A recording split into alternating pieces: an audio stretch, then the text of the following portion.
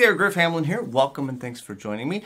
Uh, in this video, we're going to talk about one of my favorite seventh chord voicings, uh, a very popular voicing, but one that surprisingly I don't see as often. So if we're playing, let's say in an A blues, right? And you might be playing, you know, an open position, A7 or an open position, A7. And you might be familiar with a C, an open C chord. You add your pinky to the third string at the third fret, you get what's called a C7. You may or may not already be familiar with this, but that's a C7 chord. Well, one of the things you might not know is that you can move this chord.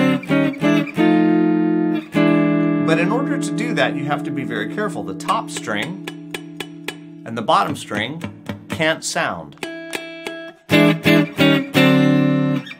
But if you do it right, and what's so what I've got going on is my either my my index finger or sorry my my ring finger, my third finger is kind of lightly touching the sixth string right here, or my thumb kind of re reach, reaches around.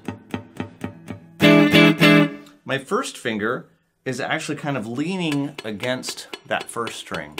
So the the inside of my first finger you really can't see in there, but it's it's touching that first string.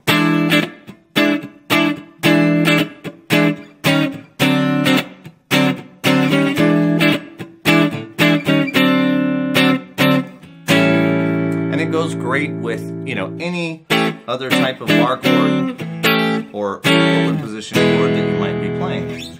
Um, you know, the lowest one you can get is a C. You can kind of get a B, but you sort of run out of frets. And while it's not a, a super fancy grip and it's not a super fancy chord, it's just a really cool sound and it's a little bit less common. You know, a lot of people I think know the, you know, the more traditional bar chord, seventh chord or bar chord, seventh chord like this. That chord is a is a different voicing. The the notes are in a different order. Instead of root fifth, flat seventh, third, they go root third, flat seventh, root. So it's it's just a little bit of a different voicing, and it's just got a cool sound. And so you know you might have heard it. You might have been listening to something and you heard it and you kind of went, oh, that's a cool sounding chord, but it doesn't sound exactly like the one I play.